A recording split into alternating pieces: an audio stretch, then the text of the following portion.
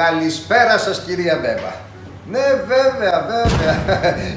5 Ιουλίου θα είμαστε στο Πόρτο Ράφτη και 6 στη Χαλκίδα. Βέβαια θα συναντηθούμε εκεί. Μα φυσικά, φυσικά, όντως ο καλός ο κόσμος. Βασίλη! Αγάπη μου, Δεν πιστεύω να με απατάς. πω και το μου. Όχι αγάπη μου, εγώ σε έχω κορώνα στο κεφάλι μου. Η Άννη είναι εδώ, παιδί μου. Ποια είναι η κυρία Μπέμπα; Ε, Η κυρία Μπέμπα είναι αυτή που θα μας δώσει το budget. Το budget. Πότε έχετε πρεμιέρα; 5 Ιουλίου στο Πόρτο Ράφτη. Ε, Και έξι χαλκίδα την επόμενη. ε. Σας περιμένουμε. Να έρθεις και εσύ αγάπη μου, δεν θα μπορώ να παίξω χωρίς εσένα. Το νου σας ρε μάλια. Έτσι και δεν είστε καλά παιδιά. Θα έρθω εγώ να σας βρω. Εντάξει! Μην παντρευτείς ποτέ.